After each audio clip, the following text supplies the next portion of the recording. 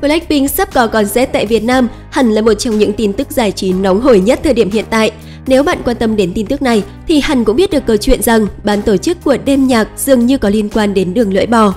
Mới đây, kênh tin tức Hàn Quốc MBC News đã cho đăng tải một đoạn tin tức với tiêu đề hủy bỏ concert Blackpink. Video này ngay lập tức đã thu hút được vô vàn sự chú ý của cư dân mạng.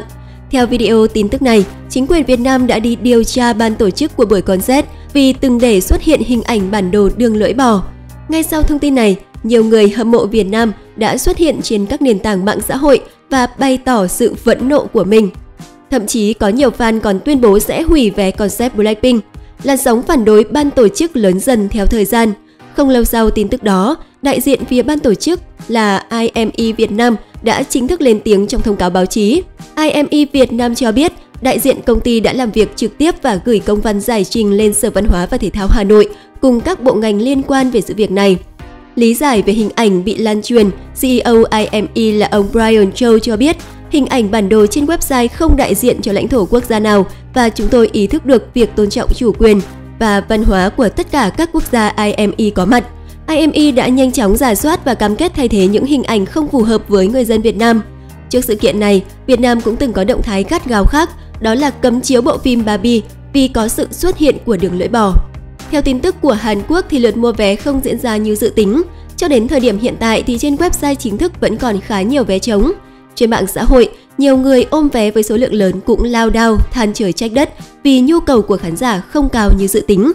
Trước vấn đề này, netizen Hàn Quốc thì làm sao tránh khỏi những trận bàn luận không dứt. Hãy cùng xem bọn họ đã nói gì nhé. Đúng là idol thì thích thật, nhưng tổ quốc thì chỉ có một. Có lẽ đây là một phần lý do mà vé Blackpink không bán chạy như dự kiến. Tôi hoàn toàn hiểu cho hành động của người Việt Nam, lòng tự tôn dân tộc của bọn họ cao lắm. Dù cho có mời ngôi sao tầm cỡ thế giới, nhưng nếu khâu tổ chức có vấn đề gây tranh cãi về lãnh thổ chủ quyền thì kiểu gì người Việt Nam cũng sẽ nói tạm biệt mà thôi. Đáng trách nhất chính là đơn vị tổ chức. Các bạn làm việc với một quốc gia mà chẳng nhìn trước ngó sau, xem thử người ta thế nào. Làm việc như thế là cầu thả, nhất là liên quan đến vấn đề đáng rất nhạy cảm như vậy. Đây là điều mà người Việt Nam làm rất tốt. Nếu với những thế lực muốn chiếm đoạt lãnh thổ, lãnh hải của mình thì đương nhiên phải chống trả quyết liệt rồi. Dù Blackpink không đáng để chịu cơn phẫn nộ, nhưng tôi hoàn toàn hiểu cho hành động của người Việt Nam. Ban tổ chức đại diện cho cả một sự kiện lớn, mời ngôi sao thế giới về nhưng lại làm ăn quá tắc trách. Nếu là chúng ta, bản thân lãnh thổ của chúng ta bị nhầm lẫn với Nhật Bản thì tôi hỏi bạn có nổi điên lên không? Tất nhiên là có rồi.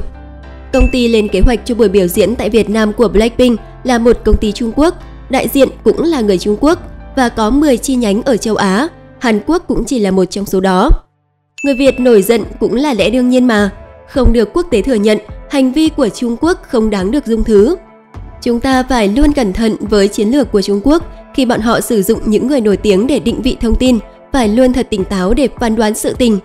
Làm tốt lắm Việt Nam, các bạn cần phải nói điều gì đó và có biện pháp tương ứng vì lợi ích của đất nước mình.